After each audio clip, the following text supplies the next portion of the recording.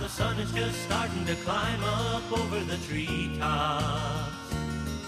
And it's gonna be a beautiful day, that's plain to see.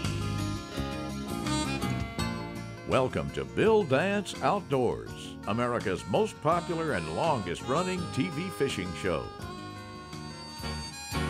Now I've gone fishing with Bill Dance today. Well, as you can see, we've got a cold, cold winter day. But you know, these are the kind of days that I do some of my best at catching bass. Our water temperature right here is 46 degrees. Uh, predicted weather forecast is a high of about 38 today. Uh, the pattern that we've established today is about 8 to 10 feet along quick bank drops is where most of these fish are located. Uh, we'll talk about our presentation and the bait that we'll be using a little bit later on. But a chilly day, a good winter day for nothing else to do. I don't hunt. I do hunt, but I hunt bass.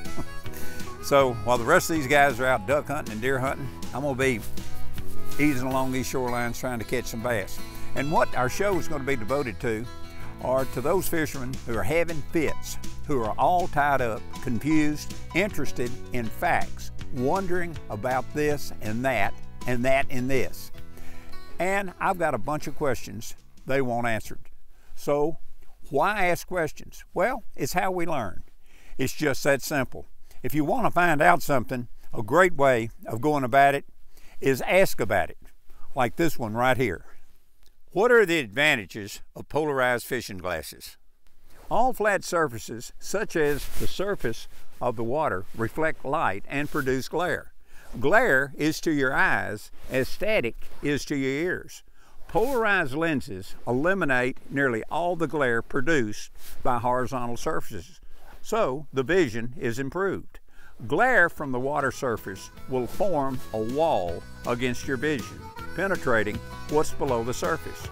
Eliminate the glare and you can see below the surface. Of course, how deep you can see below the surface is determined by the clarity of the water.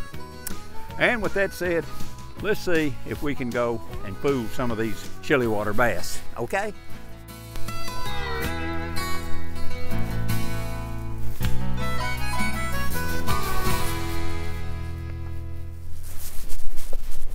Where are you going?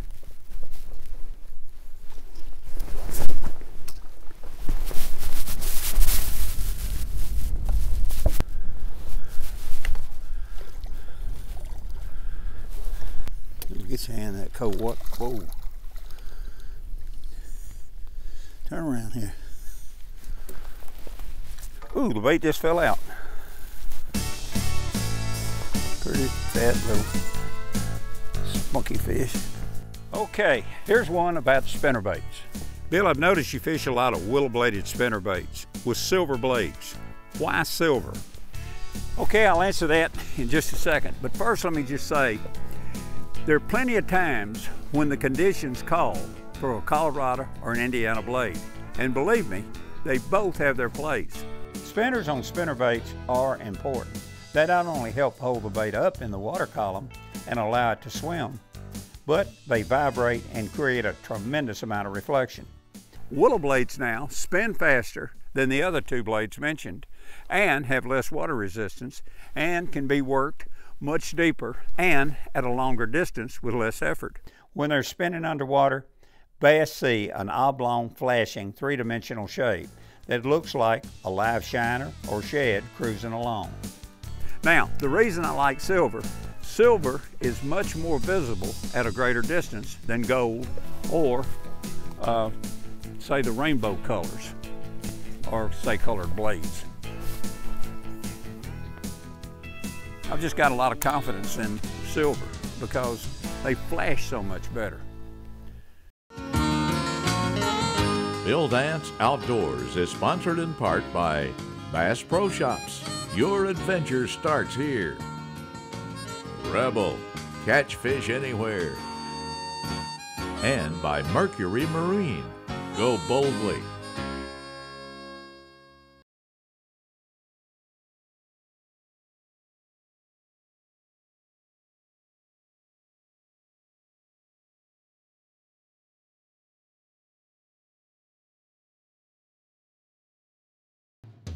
Today's conditions log is brought to you by the Tennessee Department of Tourist Development. Come experience the kind of beauty that can only be made in Tennessee. Go online today for your free Tennessee vacation guide.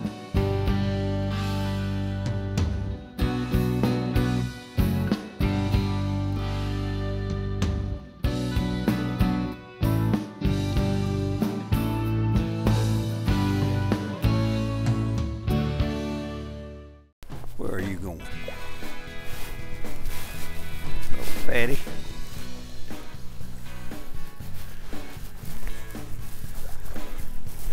They're healthy. They come up here to me. You got that crack craw all the way down your face. Isn't that a pretty bait? You like the looks of it? Huh? Alrighty, here's one all fishermen dread. After a front moves through, what factors determine when the fishing will return to normal? Fish, like most critters, crave stability. It makes them feel more secure. So, stable conditions are what cause fish to return to a more predictable routine. Now, after a sudden change in barometric pressure has sent fish into a panic mode, they need assurance and a return to comfort. Normally, this comes by way of a couple of days of stable weather.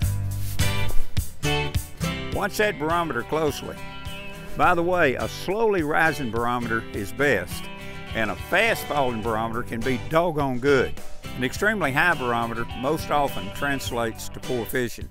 Also note that fish that traditionally remain in deep water are not nearly as affected by such changes as those that relate to shallow water.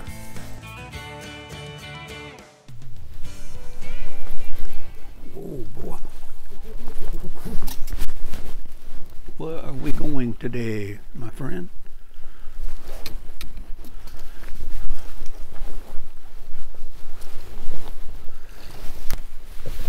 Cold old fish. Whoa, there we go. Got over a log. Let me come on back here. Slide you over that log.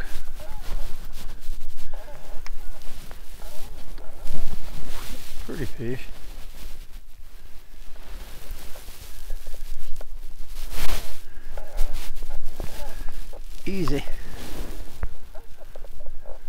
Fat.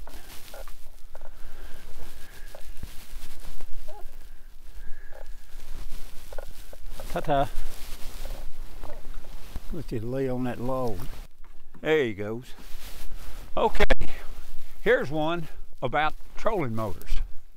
Bill, does anyone make a quick release mounting plate for traditional foot control trolling motors? I've seen them for electric steer motors, but not for foot control motors. Yep, Motor Guide just came out with one that works for both electric steer and mechanical steer foot control trolling motors. And it can be changed out quicker than a minute can jump a dipper. Seriously, you can change out a motor in less than a minute.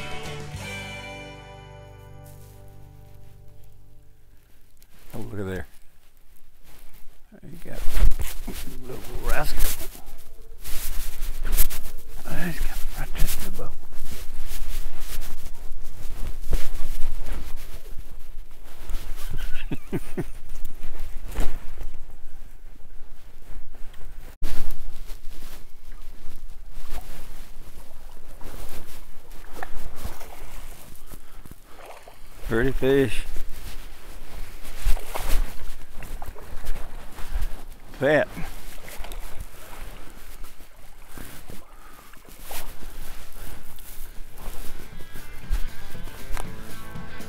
There it is. Nice.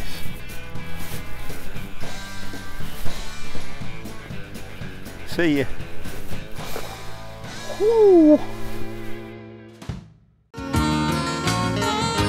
Today's show is sponsored in part by Quantum Rods and Reels, Mystic Lubricants, Lubrication Domination, and Tracker Boats, Fish the Finest.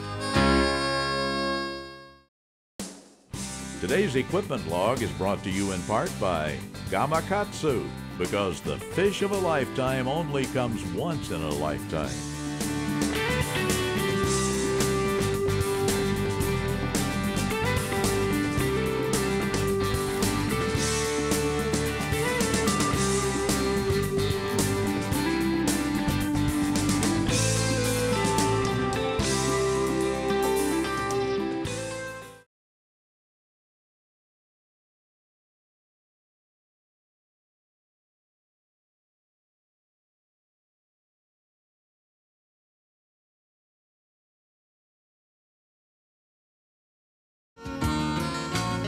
Today's show is sponsored in part by Stren, the standard of dependability since 1958. Fish defunct, kill the stink. And Garmin, fight your fish, not your fish finder. Okay, let me show you what we're doing. We're fishing along these eight to 10 foot contours. And when, sometimes the contours will run out 30, 40 yards off of the bank. Now I'm way out here right now, and when I get way out, I lose a lot of the cover, but there is some sparse cover out where the 10 foot drops off into about 15, 16, 17 feet of water. And when I get out here where the sparse cover is, what I'll go to is a lead head. I can fish this lead head so much better. And I've got the bait rigged, like I say, with a quarter ounce lead head. And when I get back in the heavier cover, what I'll go to is a 3 16th ounce slip sinker.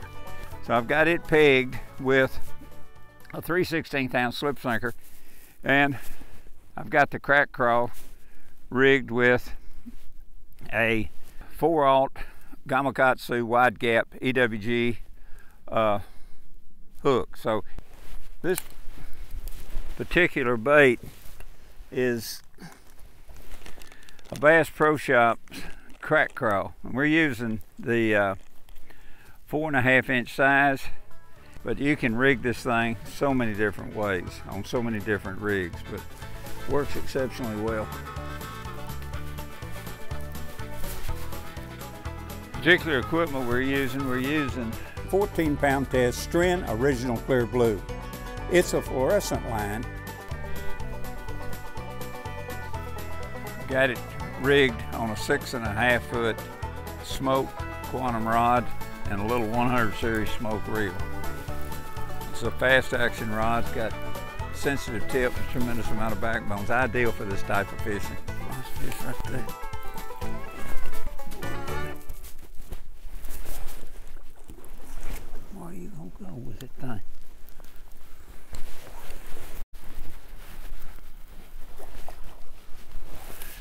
Me come all the way back here, aren't you? Tugging, tugging, tugging.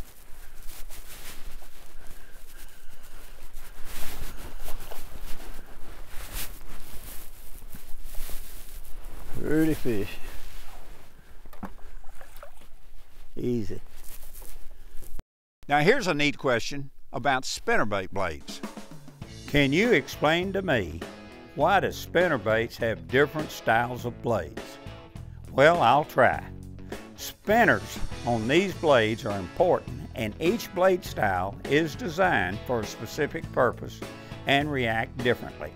With lures of this type, you'll find that they're usually manufactured with three different shaped blades, the Colorado, the Willow Leaf, and the Indiana. All turn at different angles to the shaft because of their shape. Shape determines blade angle, which determines RPMs. This determines the performance or vibration and action of each blade. The Colorado blade turns at about a 45 degree angle to the shaft. It creates more water resistance for slower revolutions that create a distinct thump. But the 45 degree angle revolution also reduces the amount of flash given off. Nevertheless, they're a good dirty water blade and a low light blade. Now the willow blade falls on the opposite end of the performance spectrum because it revolves at about a 20 degree angle. They produce the most flash but need to move at higher retrieve speeds in order to spin consistently because they have minimum water resistance. And finally, the Indiana blade. It falls somewhere between the Colorado and Willow Leaf in performance with about a 30 degree blade angle that provides moderate action, flash, and vibration. This one is more of a compromise blade. The Bill Dance question and answer of the week is brought to you by Mystic Lubricants and their complete line of JT4 marine products. A full line of products for your full line of pursuits. Visit mysticlube.com today. Why are eddies good places to fish? Why? Well, eddies are formed by a current break that creates slack to slow water and move horizontally. They're the home to many small fish simply because they provide a survival location and attract the basic form of the food chain. Now game fish know this and they use eddy water as one of their top feeding locations. Now keep in mind that all eddies are not going to be productive. Today's show is sponsored in part by Millennium Marine, a new class of comfort, and Motor Guide trolling motors engineered for anglers. Closed captioning is provided by Bill Dance Digital. Follow us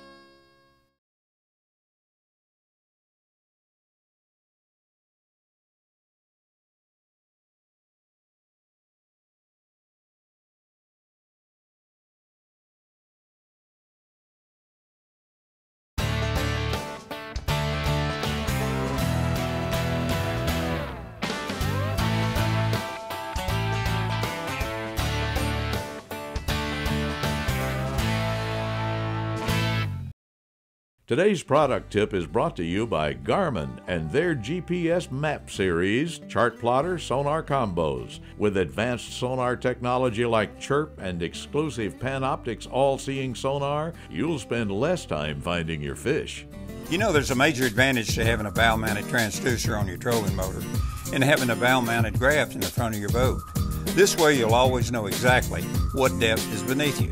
Take this 19 foot boat. It's got a graph mounted at the console with a transducer at the transom. But that's a long distance when you're trying to find fish or vertical fish on a ledge or a piece of cover. Come be a part of Bill Dance Digital. Join us on Facebook, Instagram, Twitter, and YouTube. Follow us.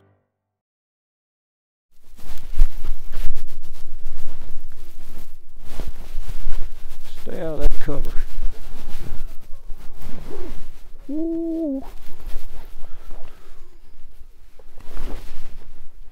Fish. Nice one. Let me just get my hands on you, big boy. Yes. Whew, that dandy. There's that sunshine.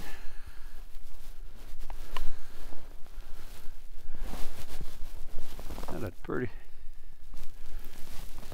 Got that sun on you too, ain't you? Hmm. Okay, how about this one? You've already left home for a day of fishing. What one item would you turn around and go back and get, and why that particular item? Oh, I've had to turn around and go back home uh, and get a lot of things I needed for a day of fishing. Heck, I've even had to go back and uh, get my boat that I forgot. Yep, that's right. I forgot my boat. And I forgot my tackle box. And having a very understanding better half, I had to call I had to call her one time and ask if she wouldn't mind bringing me my tackle box. She did it, and there's no doubt that uh, she, you know, she is a real keeper. And if you knew her, you'd probably, you know, agree. My number one thing I'd go back for are my prescription sunglasses. All that said, I can already hear y'all spreading the word. Did y'all know that Bill Dance went fishing one time and forgot his boat? Well, it's true. Bill, I'm looking for a couple of open face spinning rods for my two twin grandsons.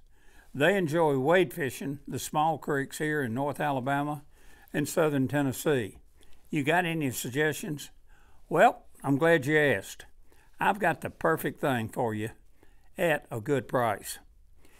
I too enjoy wade fishing, and let me show you an ideal rod and reel that'll work just fine for your two grand boys. It's one of our Bill Dance Special Edition six foot or six and a half foot rods. These rods are constructed with IM6 graphite that creates sensitivity and lightweight. They're strong with plenty of backbone for a good hook set. They come with D-ring guides and EVA handles, an ideal rod for fishing small jigs, crankbaits, inline spinners, and finesse lures. Now the reels are lightweight affairs with smooth drag systems, optional left or right hand retrieves, large aluminum spool, and continuous anti-reverse. I'll tell you what you need to do. Check them out at Bass Pro Shops and Cabela's.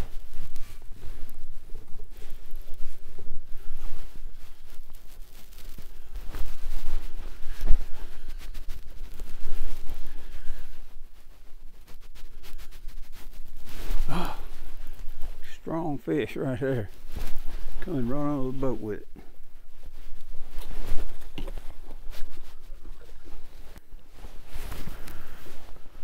Yes, sir. Nice fish. I don't fall out of the boat. Coming back here to get him. Tough. Look at him. Whoa.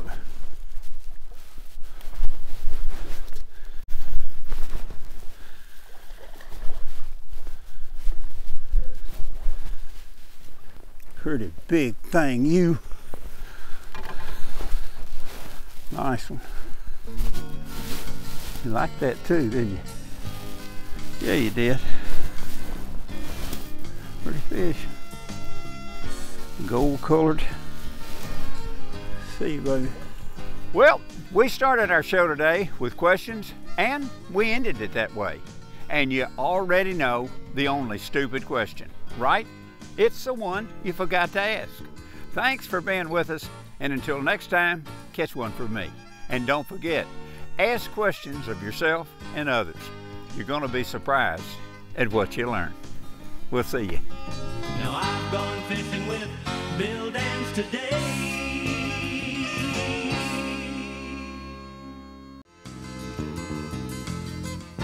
Thanks for watching Bill Dance Outdoors. Join us here again next week. Now I've gone fishing with Bill Dance today.